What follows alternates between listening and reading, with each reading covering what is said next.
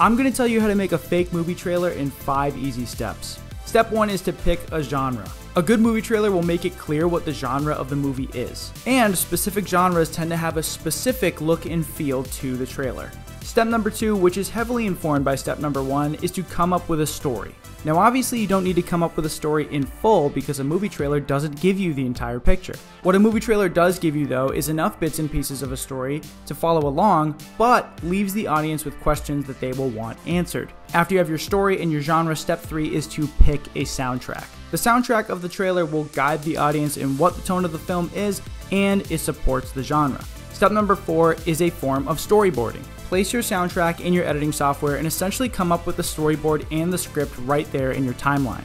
Basically, typing up what you're hearing and seeing on screen. Step 5 is to go out, shoot, and edit this entire thing together. Try it out, good luck, and follow for more filmmaking content.